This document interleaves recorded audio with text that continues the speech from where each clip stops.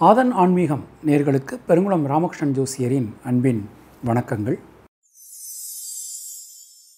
மகர ராசி அன்பர்களே இந்த மாதத்தினை பொறுத்தவரை ரொம்ப ரொம்ப ஒரு அற்புதமான நல்ல பலன்கள் கிடைக்கக்கூடிய ராசியில் மகர ராசியும் ஒன்று ஏழாம் இடம் ரொம்ப ரொம்ப அற்புதமாக அமைஞ்சிருக்கு.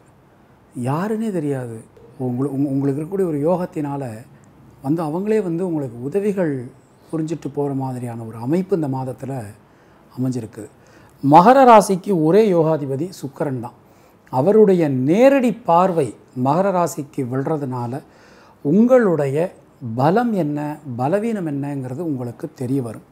அது மாதிரி நல்ல யோக பலன்கள் அதிர்ஷ்ட பலன்கள் உங்களுக்கு கிடைக்க போகிறது வீடு பூமி மனை சம்பந்தமான காரியங்களில் இருக்கக்கூடிய தேக்க நிலை நிச்சயமான முறையில் மாறும்.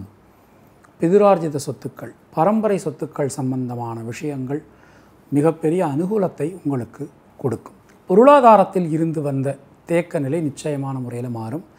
கடன்கள் அடைபடுவதற்கான ஒரு காலகட்டம் கணிந்திருக்கிறது. உடல் ஆரோக்கியம் ரொம்ப ரொம்ப சிறப்பாக உங்களுக்கு அமையும். தொழில் ஸ்தானம் ரொம்ப வலிமையாக இருக்கிறதுனால தொழில் சார்ந்து நீங்கள் எடுக்கக்கூடிய முயற்சிகள் அனைத்தும் பலிதமாகும். அது மாதிரி உத்தியோகத்தினருக்கு மேலிடத்துடன் ஒரு நல்ல இணக்கமான சூழ்நிலை உலவும். சக ஊழியர்களுடைய ஆதரவு உங்களுக்கு கண்டிப்பான முறையில் கிடைக்கும். மனதில் தைரியம் தன்னம்பிக்கையோடு நீங்கள் எந்த ஒரு விஷயத்தையும் அணுகுவீர்கள் செய்து முடிப்பீர்கள். அயராத முயற்சியினாலும் பயிற்சியினாலும் நீங்கள் நல்ல பலன்களை பெறுவீர்கள்.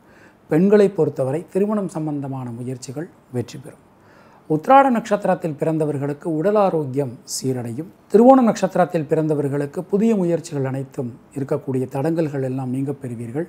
அவிட்டம் நட்சத்திரத்தில் பிறந்தவர்களுக்கு சுணங்கி கடந்த காரியம்லாம் மீண்டும் வேகம் பெறும்.